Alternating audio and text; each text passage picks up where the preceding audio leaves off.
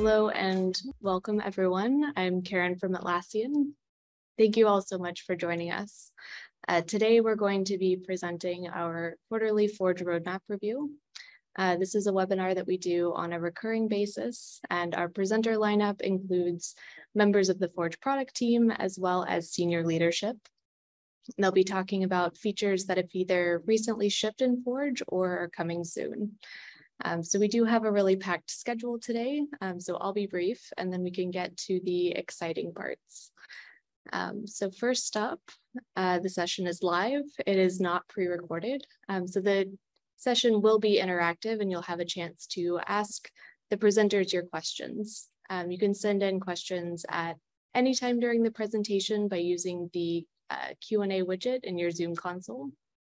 We'll save those questions until the end um, and we will try to get through as many as we have time for. Um, there might be a few questions that do require a little bit more research to properly answer. Um, so if we aren't able to get to your questions, um, please post them in the developer community and we'll address it afterwards. Um, and then lastly, I do want to mention that today's webinar is being recorded. So we will send you the recording by email, um, usually within about three days or so. And with that, we'll take a quick look at today's agenda. Um, so first up, we have Johnny Ferguson, who's the head of product management for Ecosystem Platform.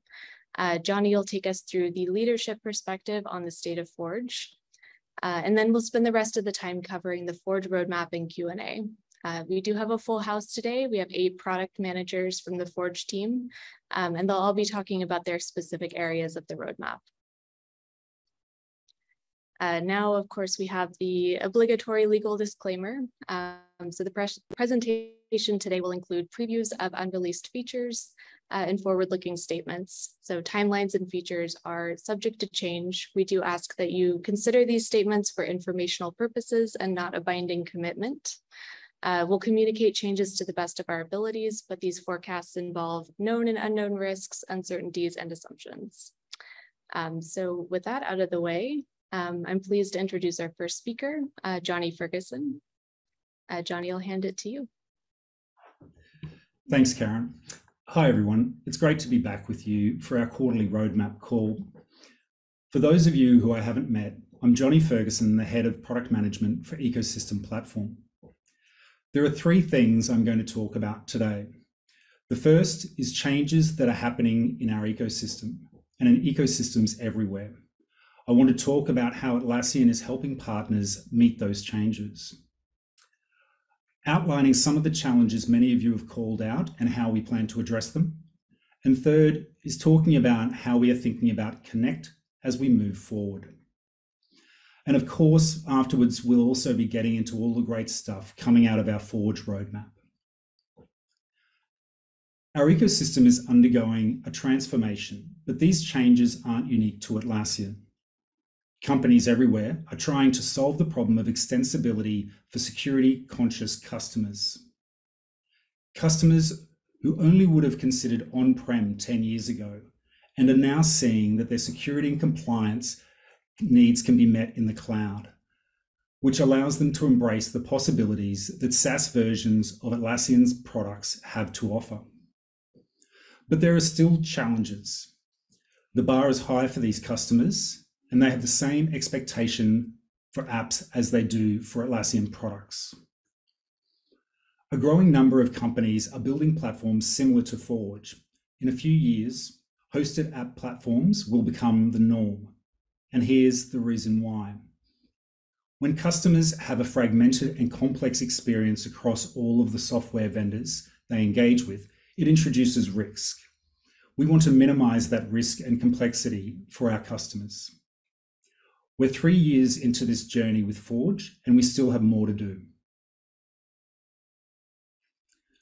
Forge is our future unified developer platform, and it will become the backbone of our marketplace for many years to come.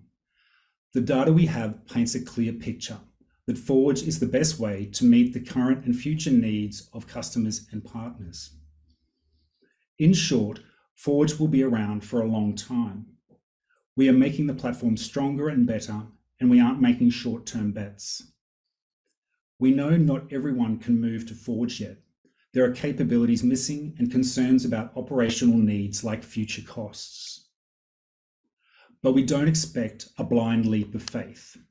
We ask you to keep evaluating and adopting Forge where you can, and in instances where you can't yet, keep watching these roadmap updates to determine when your needs will be addressed. The burden of proof is on us to not just tell you that we are building what you need, but to show you where we are putting in the work. Some of you may have recently taken part in our developer satisfaction survey. This is a very important barometer that we use to understand what's working well and where we need to do more for our developer ecosystem. Here are the top concerns we hear from the partner sentiment survey. Reliability, docs, and number three is support. This survey isn't just a point in time check. We compare results quarter over quarter to understand how things are trending and whether the interventions we've put in place are effective. While all of the concerns in the top three are important, we take reliability particularly seriously.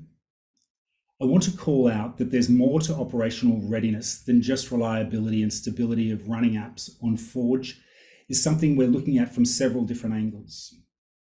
That said, I want to share a few concrete steps we are taking to zero in on uptime and make improvements. This month of August, we've declared an all hands on deck initiative in which our entire engineering organization responsible for both Forge and Connect is being dedicated to reliability improvements. Priorities for this work period include making sure all services have the right level of alerting instrumented. So far, 270 new SLOs have been added to help detect breaches. Identifying and filling gaps in incident response. We focused on making sure runbooks are available and accessible to aid in quick resolution and defining new developer on support processes. A developer platform is a particularly interconnected part of the product, which adds complexity when root causes occur far upstream we don't consider that an excuse for incidents that impact partners. We're taking a hard look at where reliability is below acceptable levels and putting in place a mitigation plan to ensure fewer incidents happen, and when they do, they are resolved quickly. This initiative is still underway and we're still in the process of measuring results. However, you can expect regular communication on this topic and we will share back the progress we have made. I want to acknowledge another feedback theme, and that's the future of Connect. We know this is a big concern. What I see reflected in these words is concern that the ecosystem of the future will offer fewer possibilities for developer. And we intend just the opposite. In regard to Connect, we will not discontinue any functionality until equivalent or better functionality exists in Forge. Flexibility is a great strength of Connect, and we're investing in making Forge more flexible as well. We'll speak to some of those plans later in the presentation when we dive into our roadmap. We're also investing in surfaces for innovation by building new capabilities into Forge.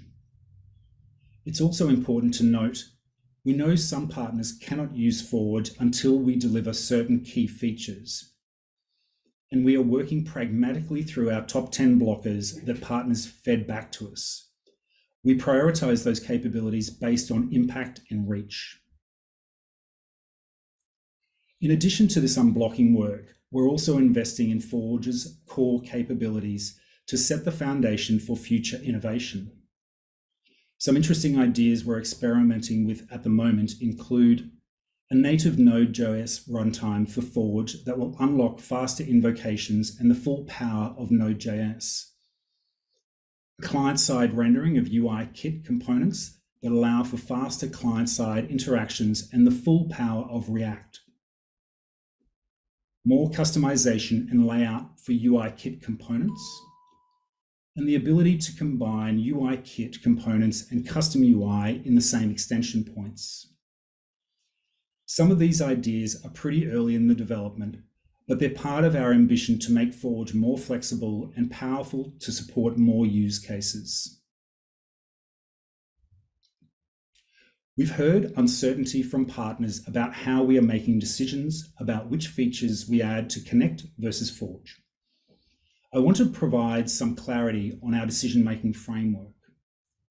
Our North Star is to create a thriving ecosystem and more apps that enterprise customers will trust. We are also committed to providing stability for Connect builders.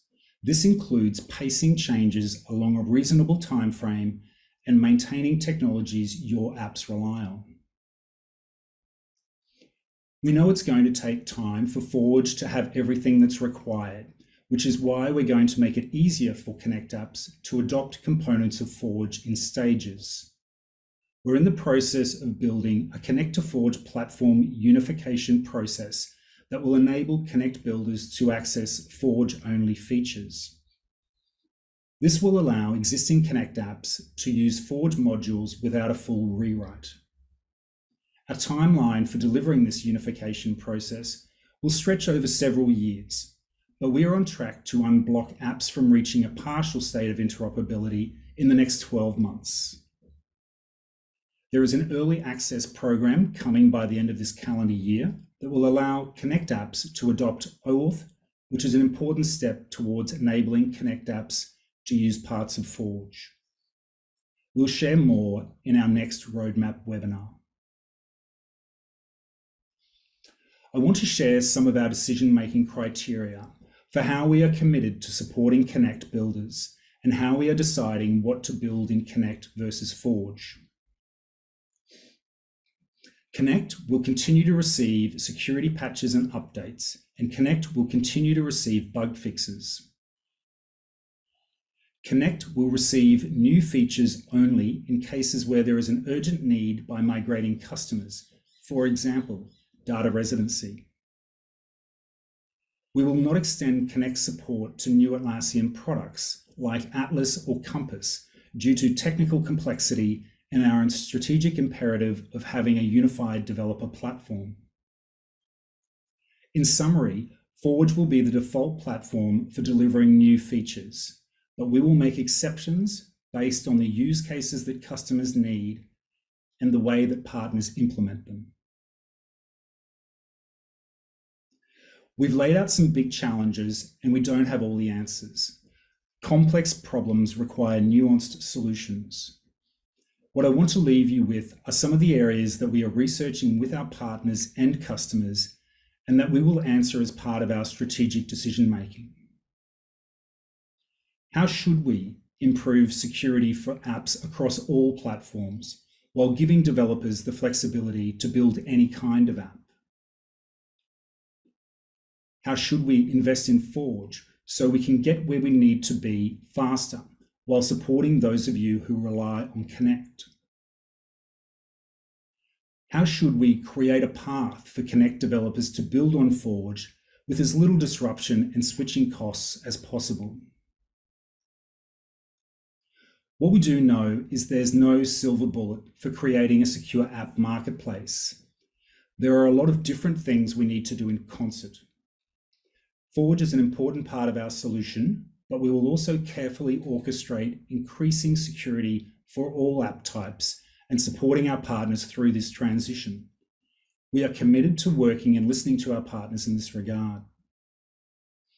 I'll end my thoughts there and pass it over to Jacob, who will kick off our roadmap review.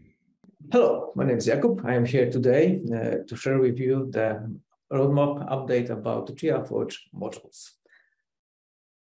In Q1, we have released three modules and promised seven.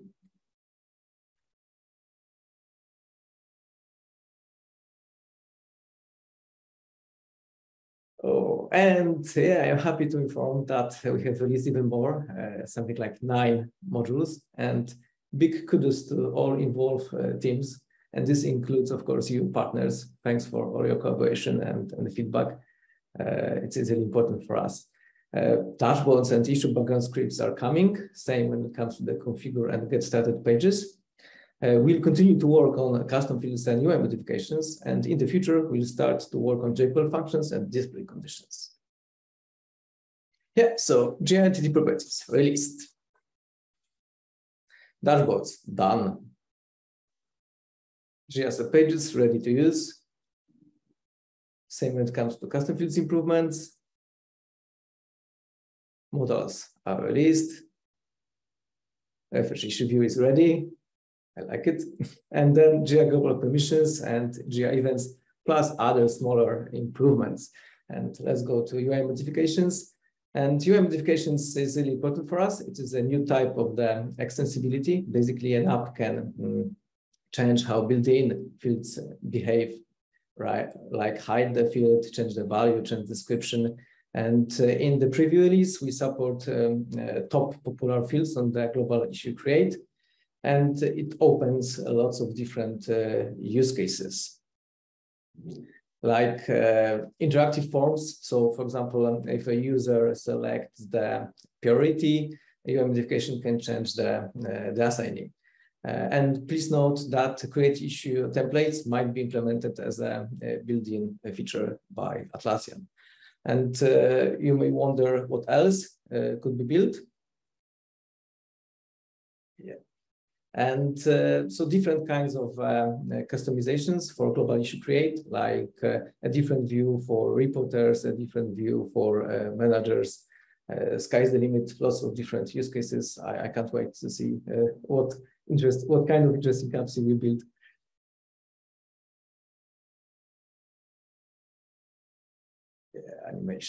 And we strongly believe in UI modifications. We have a long-term plan related to them. Uh, the next uh, biggest milestone is general availability GA. Uh, we plan to release it, it somewhere in the winter. We'll add support for additional fields and methods and remove some limitations. Uh, you can track all improvements related to UI modifications thanks to the uh, UI modifications component on the uh, Forge project. Uh, dashboards and issue background scripts will help you to build interactive uh, apps um, in September. I hope that we'll release them in September. You can use them as a browser memory cache or just to you know uh, consume the JavaScript uh, API. Uh, configure and get started pages uh, just to improve your app installation experience. Um, parity with Connect. I hope it will help you. Yeah, and Forge custom fields inline edit on the issue view. I am very happy to that we have started to work on it. We'll improve uh, custom fields, um, Forge custom fields user experience on the issue view. It is one of the most popular views, so I, I can't wait to see it. And of course, it will be we will have a support for UI kit and uh, custom UI. Uh, when it comes to the further uh, future, um, we plan to add JQL functions Mm, something like six months, I will update. I will keep you posted. I will update the ticket uh, when we uh, know more, when we when dates will be more precise. Uh, it will enable apps to add JQL functions, and the user experience will be really close to the native JQL functions. Apps will be able to define operators and, and arguments, and thanks to them, you can improve Jira users' search experience. And display conditions, I know that they're, and we know that they are needed. We want to do them properly. We want to have a secure, fast backend implementation. So we need a bit more time for them. Uh, and we want to have a full feature parity with uh, Connect. Probably we will start to work on them after JQL functions. Uh, and we'll continue to work on custom fields and UI modifications. When it comes to custom fields, we want to add support for different uh, views, probably boards and uh, new issue navigator. And we have um, ongoing discussion whether we need to support formatter only or maybe UI kit or custom UI. So if you have interesting use cases or strong opinions, let us know. And uh, on our radar is also support for team managed projects. When it comes to UI modifications after uh, GA, so after GA on the global issue create, we plan to support additional uh, views. It is a long-term plan, but uh, we want to also uh, give support to applications to other views. I hope that all new modules will help you to build a lot of successful Forge apps. over to Gerda. Uh, thank you, Jakub. Um, my name is Grażyna, um, and I'm a product manager for uh, Forge. Um, on the last webinar, uh, I shared with you that we plan to work on Jira workflow extensibility for Forge. Uh, today, I'd like to summarize what we have managed to ship and what's coming next. So I'm really happy to announce that we've added several new functionalities uh, to the expression validators uh, from the Jira workflow validator module in, in Forge. So based on that, you can now define a custom UI for creating, editing, or viewing validator configuration, save workflow configuration, configuration to the config variable, um, and use more context variables that are available in Jira expressions. Uh, we're also looking into metrics and feedback regarding validators uh, based on Lambda functions. Uh, this will help us um, uh, to uh, decide on the direction in which we'll be taking up uh, with this feature. Uh, apart from validators, uh, we've also introduced uh, a new Jira workflow conditional condition Forge module. You can now configure your own workflow conditions using Jira expressions. At the moment, uh, we are working on custom UI for creating, editing, um, or viewing conditions configuration. So you should expect uh, this soon to be ready and announced to the developer community, and of course, in included in our change logs. Last but not least, um, we will continue our work in this area uh, and focus on uh, post conditions. Uh, we would like to deliver a complete experience for app builders around workflows uh, extensibility.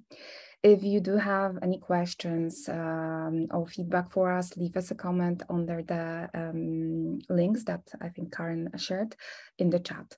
Um, thank you. Um, and now I'll hand it over to Sushant. Hi, I'm Sushant, a product manager uh, looking over Forge Storage. So today I want to share some upcoming improvements uh, to the Forge hosted storage API, which we had touched on in the recent Developer Day presentation. So we are currently working on support for complex queries through custom entities, which will enable greater querying and storage capabilities on the Forge key value store. So this feature will introduce new ways of structuring data and indexes in Forge hosted storage, as well as allowing your apps to query by value, not just on key. Additional querying filters will also be provided on top of the existing starts with condition. But uh, please note that some conditions will be supported for range while others will be for filtering. For the initial release, uh, this new capability is planned to coexist with the existing untyped key value storage. And so it shouldn't really impact uh, your app's existing data. However, please be aware that in the future, apps may be required to utilize custom entities for structuring its data. We're still exploring what this will look like and what it will mean for your apps. We will provide more information on this once we know a bit more. Improving Forge hosted storage is a top priority for us. Uh, we understand that the current capabilities are quite limited and it was identified as one of the top blockers in adopting Forge. We believe that supporting query by value is the right initial step in addressing developer pain points around hosted storage, and it is one of the top requested storage features. Currently, we are targeting October to November timeframe for the EAP, but we will be able to provide uh, an update on this as we get closer to the release. Now, uh, some more details about what we are planning as part of the EAP release. So firstly, when you are structuring your app data and indexes, we will let you define up to five custom entities per app environment, meaning 15 entities per app. Each entity can have up to 50 attributes and up to five indexes. These are just initial limits for the EAP, and we plan to increase them in future iterations. You will also be able to define up to four data types, which are string, float, boolean, and any. But please note that the data type any is not going to be supported for queries, so it can't be used in any part of the index's definition. You will also be able to specify two types of indexes, a simple index will be based on a single attribute on which you can apply range conditions when you do the query. while a named index can take an additional attribute that can be used to partition the data before any query conditions are applied. Now, I want to point out some known feature limitations. Firstly, there will be an object depth limit of 32 applied to any dataset using custom entities. We don't anticipate this limitation to be a huge issue for most apps. However, uh, we do plan to explore this further and provide options to address this limit in future releases. Secondly, index attributes will have size limits. We are currently working on defining these limits and what it will mean for your apps. More details will be provided on this when we are closer to the release.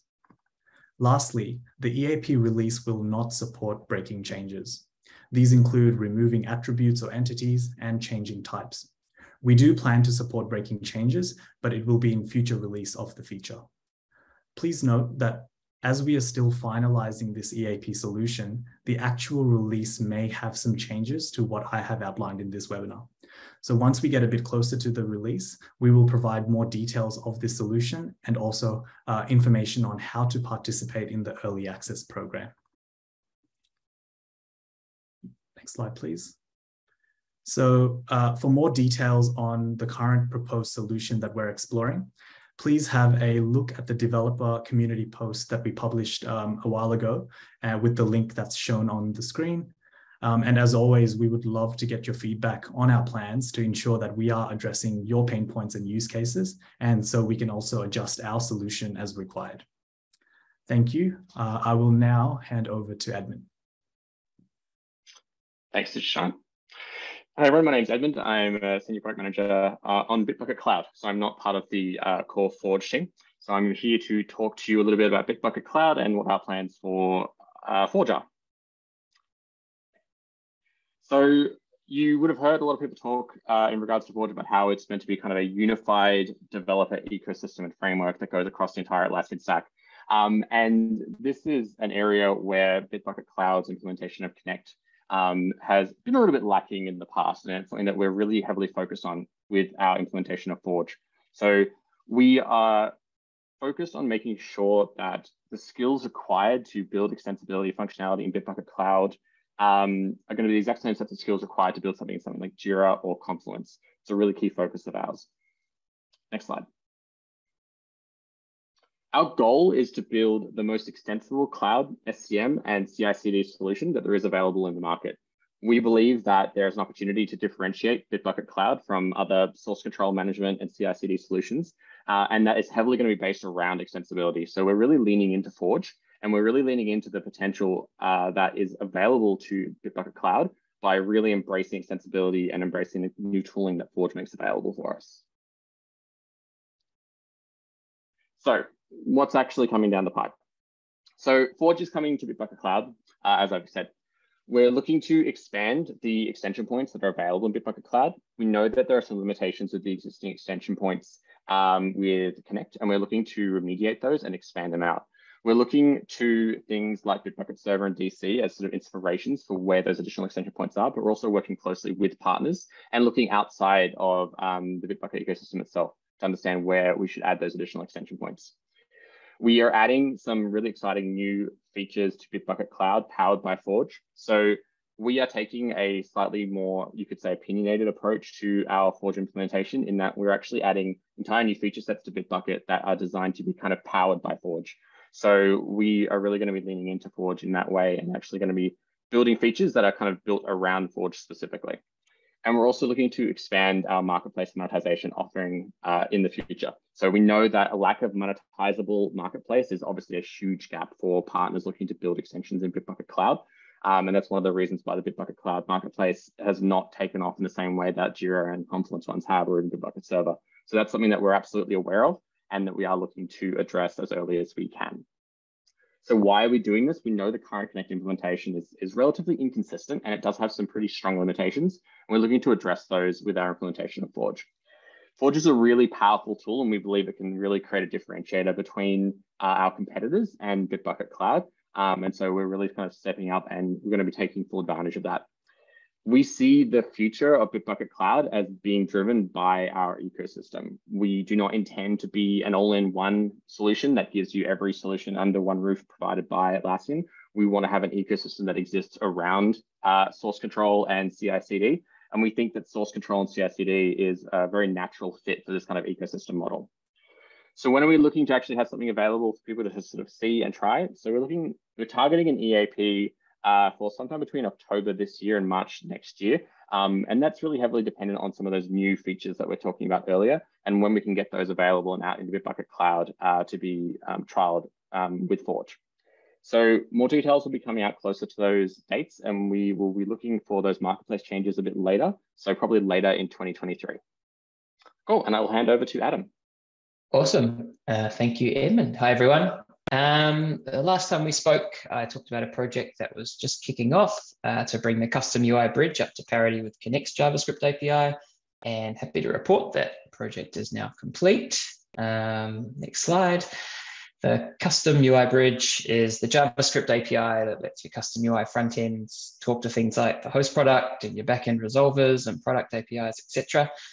And we've added a bunch of new features that were highly requested from developers like you guys. Um, so what does that include? Uh, for starters, there's the you can create product flags like the one you can see on the slide here. Uh, so you can alert users when something important has happened, whether it's a success or an error. Um, you can add that last mile of UX to keep your users informed. Um, we've also made a couple of improvements to the modal. There's new, a new size max that takes up almost the whole screen. And um, you can also disable the ability to close the modal by clicking on the overlay or hitting the escape key. So both those things, great improvements for when users are doing something pretty complicated in one of your modals and they need that extra space and also the confidence that they won't accidentally close it before they're done doing what they're doing. Um, as Jakob mentioned, you can now refresh data in the Jira issue view, which goes via the custom UI bridge. And you can also um, reload the whole page uh, for any um, Forge extension point now as well, which is cool. Uh, we've expanded the permissions on the iframe, so you can now write to the clipboard and capture the user's display. And back to that next slide, please.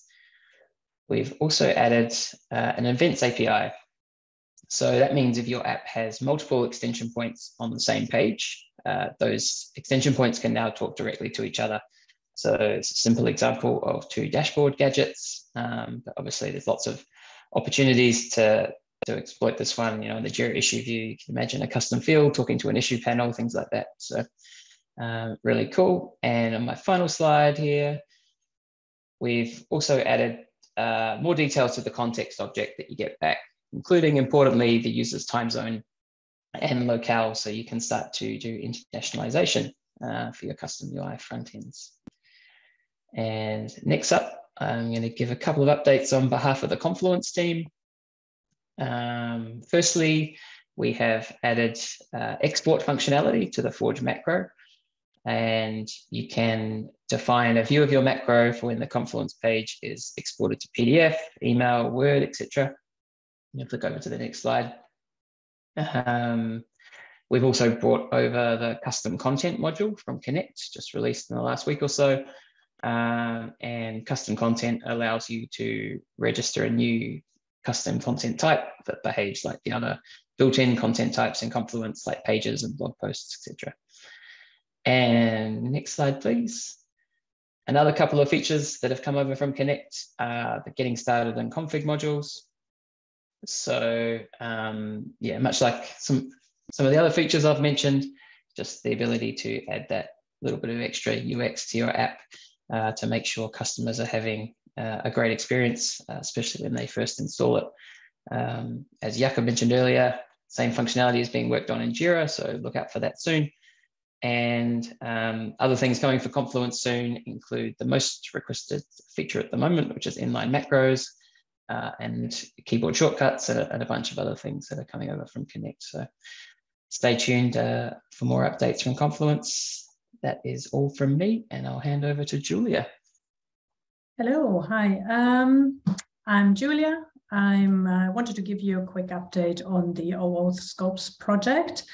Last time uh, I presented to you, we had just shipped uh, the Granular Scopes um, project. Um, you can see on the next slide a quick recap on what um, the Scopes initiative is, is about. Um, so it's all about app transparency we're looking at. We want to give customers a clear and comprehensive overview of what data an app can access um, and provide that information on Marketplace and consent screen when installing an app. Um, why are we doing this? Um, app scope transparency is, is a foundational trust deliverable for our customers and is now um, part of our wider trust program as well. So as I mentioned, the granular scopes um, um, shipment um, started in, in February, but unfortunately we had to pause the rollout in, in April, shortly after ship date, due to some technical issues that we encountered and also um, negative feedback received from, from some of our partners.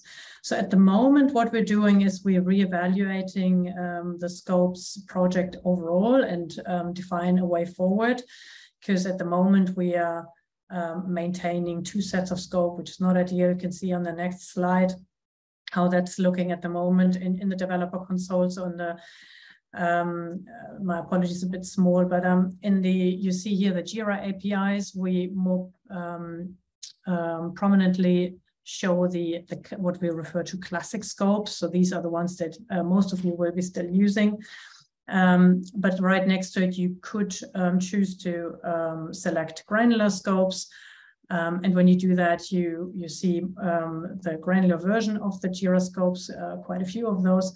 and at the top, we um, you will see a message referring to a um, to a, a, limitation of the number of scopes that you can adopt for your app, which is at the moment 50. That's that's one of the technical issues that I was referring to. So that's a header size issue we um, we encountered. So um, it will, if you try to adopt uh, more than 50 scopes for your app, you you will uh, run into an error message and, and need to change your scopes again. So as you can see, not ideal. Um, so we're working on uh, kind of getting rid of both of these um, um, scope sets and define a new set. Um, so currently the um, work um, what uh, that we're doing now is on the next slide, we're sitting somewhere between assess and listen. So we're looking at uh, we reevaluated the problem statement hasn't gone away. We still we still committed to provide more transparency for our customers. We looked um, we looked for a long time into what we have done in terms of research in our um, past concept testing. What have we possibly missed? Where did we go wrong with our um, communication um, and all of that. At the moment, we're um, conducting partner interviews, one-on-one interviews, as well as a focus group that's happening uh, later this week, which I'm very much looking forward to. So we get more feedback from from our partners um, on the past experience, maybe some best practice on, on, on what they expect us to do. We continue to communicate um, on CDAC on what we're doing, talk to our customers and internal stakeholders. So this is where what we're doing at the moment. And once we settle on a, on a way forward on a solution, um, we would um, start concept testing with partners and customers, um, extended internal end-to-end testing of various use cases. And when it comes to deployment, um, pre-announce um, a shipment, um, a shipment date, run a slow release this time as well, and ensure, should certainly ensure backward compatibility. I haven't um, given you any um, idea on the on the ship date for the new set of scopes yet because it's early days. It's not going to be um, before early next year. Um, so there's still still some time, but yeah, the closer the closer we get, the more confidence we have in uh, in the solution where um, we will be running with. Um, I'll I'll update you on that hopefully in the next uh, webinar anyway that's all from me, and I uh, hang over, hand over to Aggie. Thank you, Julia. Hi, everyone. My name is Angelina, and I'm one of the PMs on the Forge team. I look after the operational side of Forge apps, and in the last couple of quarters, um, I have been concentrating on Forge app observability features. I'll be giving you an overview of some of the new features and improvements that we have shipped recently, starting with the change in the way we handle log sharing Uh, next slide. So some of you may recall that late last year, we shipped a continuous access to Forge logs. With this release, we enabled Forge app developers to access their app logs via the developer console in order to troubleshoot issues with their apps. However, to do that, developers had to ask their users to enable log sharing. Since this release, we've learned that the process of enabling log sharing has been time intensive, both for you and for your users. And users often required your assistance and guidance to share the logs. Moreover, those of you with free Forge apps don't have access to the user contact details through the marketplace report, so are therefore unable to contact your users to request log sharing to troubleshoot we're happy to announce that starting from last week, log sharing is being enabled during the Forge app installations. When a user installs your app, they will see an additional information advising them that by proceeding with installation, their logs data will be shared with you, the app developer. Um, know that users can still choose to disable log sharing once the installation is complete. We believe that this change will increase the percentage of users who are sharing logs, therefore increase the amount of log data you have access to and make it easier and faster for you to troubleshoot issues with your use that your users are experiencing with your app. Um, now, know that this change affects new Forge app installations only. Uh, there will be no change to the log sharing status for existing installations. This is to ensure that users who have taken into consideration the ability to control access to the app logs can continue to use their apps without any disruption. Next, um, I want to talk a bit about Forge app alerts. Also, starting from today, uh, we will start, you will start receiving email alerts every time the invocation success rate drops to 99% or below. The drop in the success rate should last at least five minutes for the alert to be triggered, and we have limited the alerts to just one every 24 hours. Know that the alert will be sent to the app owner's email, and initially app owners would not be able to add different email to receive the alerts or change the metrics threshold. However, we are considering those features for next releases.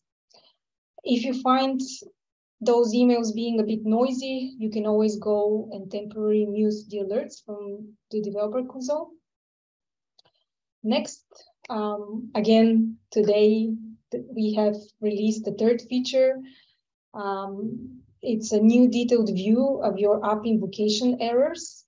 We understand that checking the sites one by one to find those with the most errors or the lowest success rate can be time consuming, especially for apps with hundreds of installations. So starting from today, you can access a new screen that shows site specific information about your app's invocation errors.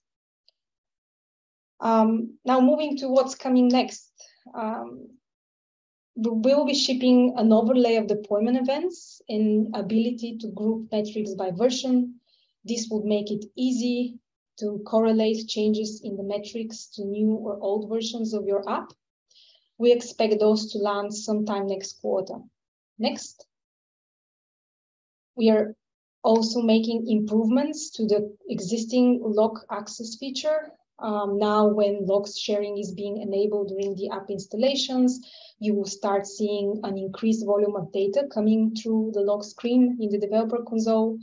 As such, we want to make improvements to this screen. For example, the team will be looking to increase the number of locations that can be loaded on the page uh, and introduce filtering by log level to help you find what you're looking for faster and more efficiently.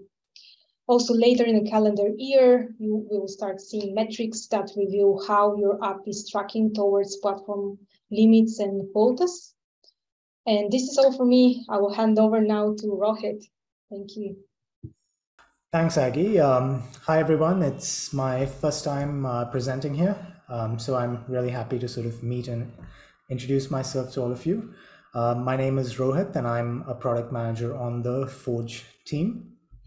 Um, and I'm going to talk to you about a feature that we've shipped to uh, make your support experience better. Uh, next slide, please. So before I get into the feature itself, uh, just a reminder that um, among the top three developer concerns that Johnny talked about um, earlier in the presentation, one of them is um, support. Next slide, please. And so with that in mind, we've recently shipped uh, a new unified developer support portal. So previously, what, what happened was developers would have to go to different pages on our developer page to actually raise queries depending on the type of query. So it would be a different page for marketplace queries, a different page for developer support queries. And so that's obviously not a great experience. And so I'm really happy that we've been able to now have a new uh, unified page at developers.atlassian.com slash support, where you can raise all um, queries, no matter um, you know what you're, no matter if it's about marketplace or it's a migration or a listing query, they're all now on one page. Uh, an important point is this isn't a mere cosmetic change because we've also consolidated all the support desks um, into, into one with a key eco help. And we've also invested in increasing the size of our support team. So in addition to having a single uh, place to raise support queries, you're also going to see improved response times and responses. Now, this is just the first um, first step because support improving the support experience is a top priority. Um, and so this is our first milestone. What what we're going to see in future presentations from me is um, is uh, more features and more releases to make the support and documentation experience much better for our developer partners. And I look forward to sharing more details of that in future webinars. Um, with that, uh, I'd like to say thanks and hand it back to Karen for our Q&A. Okay, great. Thank you so much to all of our speakers. Um, so at this point, we'll switch over and answer a few questions from the audience. Um, Sushant, if you wouldn't mind turning your camera on. Awesome. So our first question is from Julia Wester. Um, will the improvements being talked about for Forge hosted storage also improve the speed that it takes to query and return data? Cool. Thank you. Hi, Julia. Thanks for your question. Um, so we are continually monitoring the performance of the querying capabilities and adjusting our plans accordingly throughout the year to continually improve the performance as required. So we increased the API, uh, storage API operations limits uh, earlier in the year in February and more recently in June based on feedback from the developer community, though at these times it were uh, it was for the update operations where we saw the most rate limiting and uh, pain points uh, coming from partner feedback. However, we will continue to observe feedback and continually improve uh, the performance uh, of across the API capabilities in future. So if your app is hitting um, you know, specific performance limitations and requires higher limits, please let us know um, by submitting a request on the Forge Jira project uh, with the details of the pain point, um, uh, you know, any specific requirements or use cases, and if you, uh, if known, um, what a new limit you'd expect uh, for your app that will be required. And we regularly review these requests uh, so we can provide an update there. Um, but yeah, we, we will continue um, improving the performance um, continually uh, across the year. Thanks. Thanks, Karen. Great. Thanks, Sushant. Um, Jakub, the next question will be for you. Uh, this one's also from Julia. So we have a Forge app that we want to render the issue information in, but we can't just use an issue view. Instead, we have to rebuild the issue view. Is it possible for a Forge app to display the issue view screen in an app iframe, either with custom UI or UIKit? Mm -hmm. Yeah, it is not possible. We tested opening the view issue modal from the issue view, and we just have discovered lots of lots of bugs. Uh, and we decided to work on the new modules like refresh, um, issue or background script instead uh, of it because it is a huge effort only for limited use cases. So for now, the decision is that it is better to work on uh, different things than, than this one.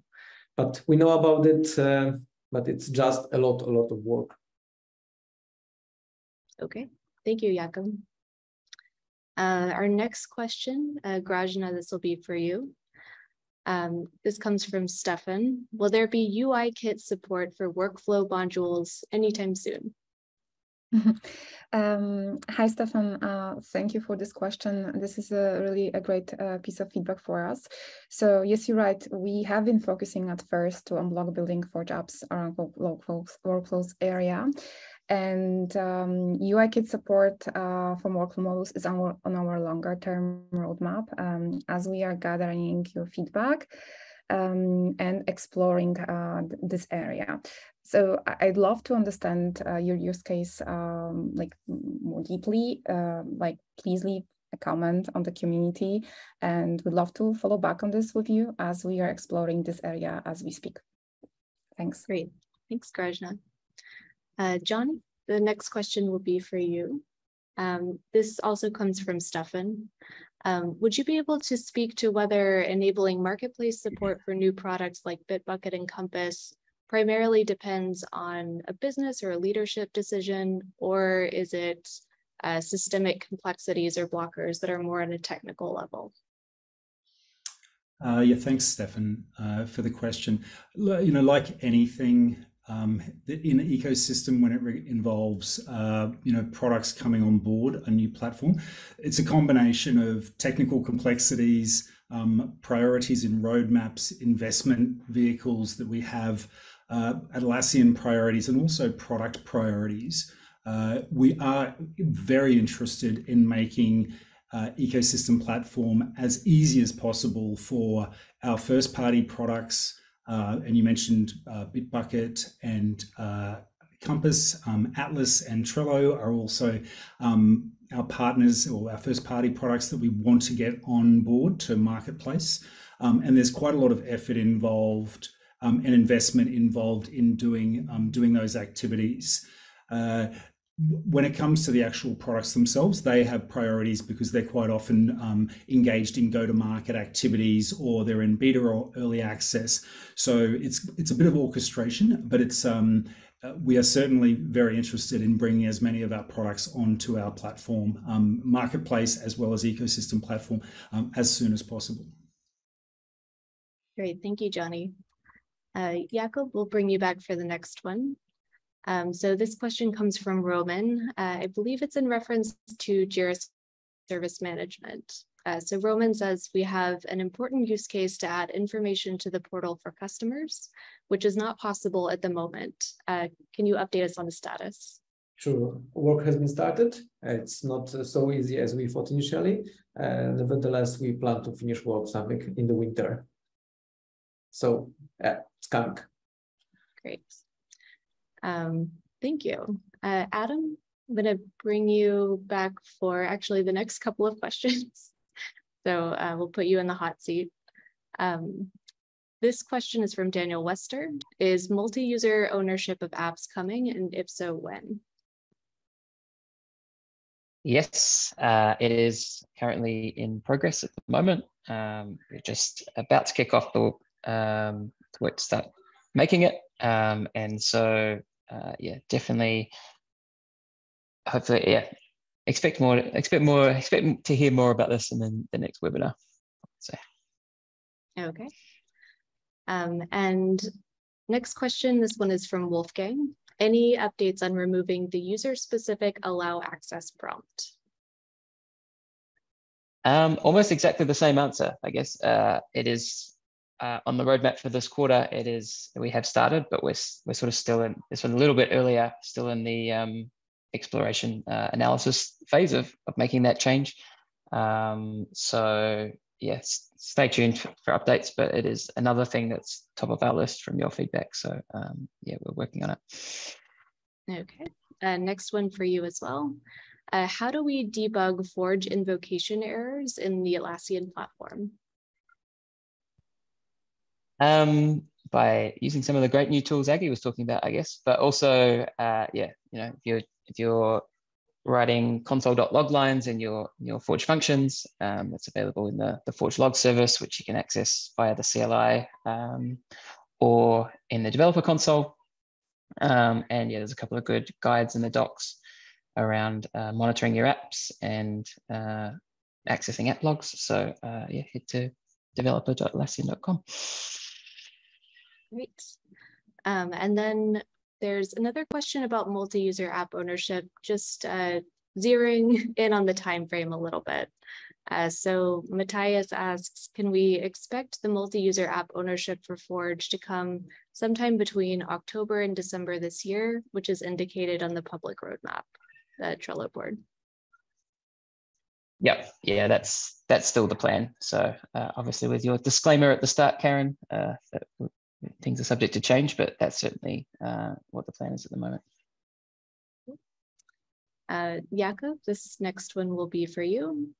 Um, uh, could you speak to the latency issues between Forge and Jira, um, as well as just spin up time and what is being done to improve it? Yes, when it comes to Jira Forge performance, uh, like this is a hot ongoing discussion uh, internally, and we uh, plan to find a few ideas for improvements. Uh, and so no decisions, no decisions at this moment, but we we want to find those ideas for improvements and then decide whether we work on them and how fast uh, Jira should be. So discussions in progress, but nothing to share at this moment. Okay, thank you. Um, one more question for you, Jakob. This one is from Christoph. Um, we've created a custom Forge field. We'd like this custom field to react to changes made to other fields from the create issues screen. For example, when the priority value is updated, our Forge field should be notified and react accordingly. Is this possible with Forge? Looks like a great example for UI modifications, right? Uh, but like two things, UI modifications are coming for the issue, issue view, but this is the long-term plan. Um, another way how we can think about it is uh, with uh, usage of uh, Jira refresh uh, page API and issue and background scripts and we have some, uh, let's say, uh, spikes whether we will be able to enable apps to listen to events. That will be very powerful, but um, like it's it's uh, very early. So like uh, long-term UI modifications, short-term uh, maybe something, but nothing to uh, to share at this moment. Great, thank you. Uh, Aggie, uh, we'll bring you back. This next question is for you. Awesome. Uh, this one is from Vincent. Um, so regarding the Forge alerts by email, is it possible to change this email or add additional email addresses? Thanks, Karen. Alerts will be sent to the app owner emails initially, and app owners would not be able to add different email to receive the alert. However, we are considering this for our future iterations I encourage you to comment on the community announcement and uh, give us your feedback. Any details you might have for your use case would really help us prioritize such features in the future. Thanks. Great, thank you. Uh, Johnny, this next question will be for you. Uh, this one comes from Artem. We have Johnny back.